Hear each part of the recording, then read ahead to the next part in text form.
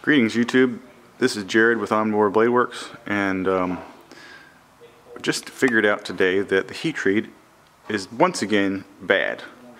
Sharpened up this little handy possum and it was very very soft on the edge when I first took the grinder to it. Um, so that was my first indication. Also when I tried breaking the point off in the vise it uh, broke pretty damn easy. Yielded and then and then I flexed it back and it broke. So, um, our heat treat is once again unacceptable. So we're gonna have to go back to our old heat treater and have them do it properly like they used to. Um, another issue is, is that everything is, when it came back from heat treat, was all pretty rusty um, compared to what it ought to be. There's some pitting that I'm not going to be able to sandblast out.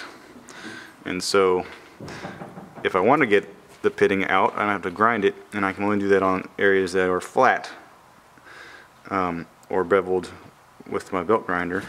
I'm not going to be able to get into the inside hooks, such as on this tomahawk, where there's obviously going to be some deep pitting, like there was on this tomahawk, which I've already sandblasted. You can see it. I'm not going to be able to hide that with uh, Cerakote and I'm not going to be able to fix it unless I put it back on my machine and grind it off.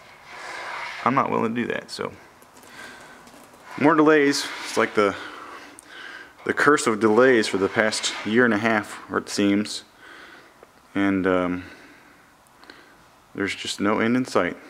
Anyway, hopefully I'll have better news next time, and these things will be heat treated again, but the right way, and we'll make them as good as we can, and then we'll we'll have some clearance on uh, clearance pricing on on these tomahawks. And um, then we'll start fresh again. So that's all I got for now. See you next time